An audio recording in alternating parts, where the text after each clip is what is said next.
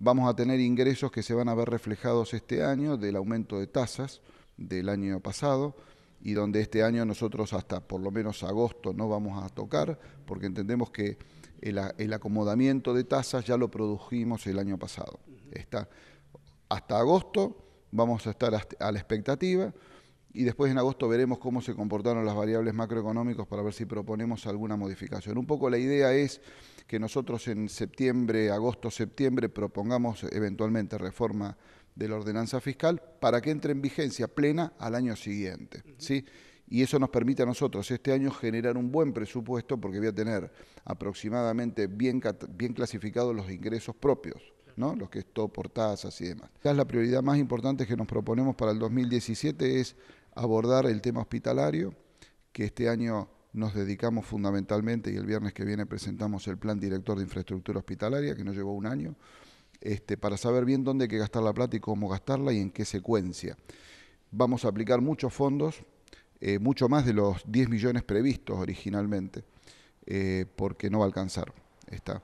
El primer paso seguramente va a ser el nuevo centro oncológico, que es donde estaba la guardia en construcción y automáticamente cuando liberemos el centro oncológico hacer la nueva guardia, pero ya con una visión integral que se la vamos a mostrar a todos los concejales, a todos los partidos políticos que quieran participar, a los equipos técnicos de los partidos políticos, porque de lo que se trata es que este va a ser el, hospital de Trenquelauquen del futuro y tiene que ser justamente lo que siempre discutí como concejal, un plan compartido no que venga un intendente y cambie todo porque se le ocurrió tirar una pared abajo. Tenemos que crecer planificadamente porque este hospital tiene ya una enorme complejidad y necesitamos que esa complejidad se traduzca en un orden. Además de todo lo que hay que trabajar puertas adentro con el recurso humano, que es fundamental en el hospital. Pero el plan de infraestructura del hospital va a ser clave en el año 2017.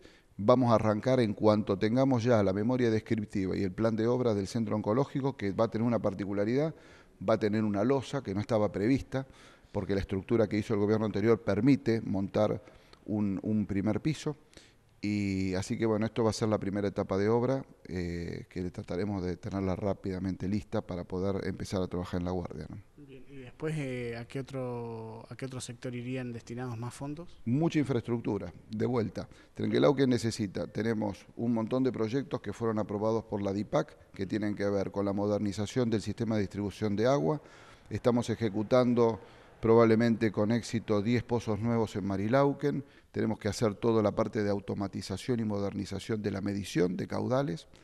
Eso dentro de la planta urbana, que va a significar una obra muy importante eh, y por el otro lado tenemos que terminar todo lo que es abastecimiento de agua para la ampliación urbana con las cisternas enterradas, que eso se va a seguir trabajando, ya están licitados los tanques, todo el sistema de distribución y hay que seguir trabajando en la ampliación urbana porque debemos infraestructura a loteos que nos dieron tierras como compensación de obras, más todas las infraestructuras que tenemos que hacer para los barrios que vamos a hacer. Así que el desafío es enorme, Obras Públicas siempre ha sido el caballo de batalla del municipio y, va a seguir siéndolo, sin ninguna duda, tenemos mucho ritmo de obra y también vos estamos trabajando en un tema que parece menor, que la gente no lo va a ver, pero que para nosotros es importante. Es volver a recrear esta cultura de que el municipio hace mucho de lo propio que consume. Estamos terminando de armar la nueva herrería municipal, volver a fabricar nuestros caños de alumbrado público, estamos montando una carpintería municipal, tenemos carpinteros y no tenemos máquinas, Así que vamos a montar una carpintería municipal para reciclar muchísimas cosas que están por ahí tiradas y que tienen valor y las vamos a volver a usar.